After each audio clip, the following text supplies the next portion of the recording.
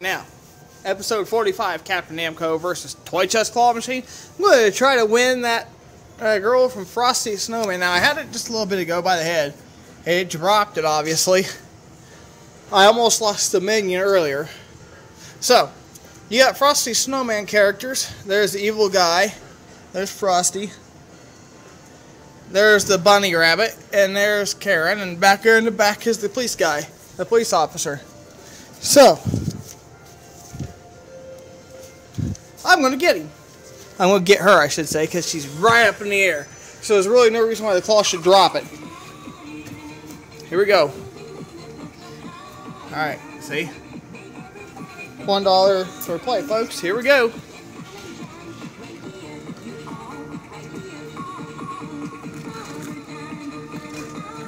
Uh, problem is, I don't want it to hit the uh, snowman. Ooh, perfect. Stay. Awesome!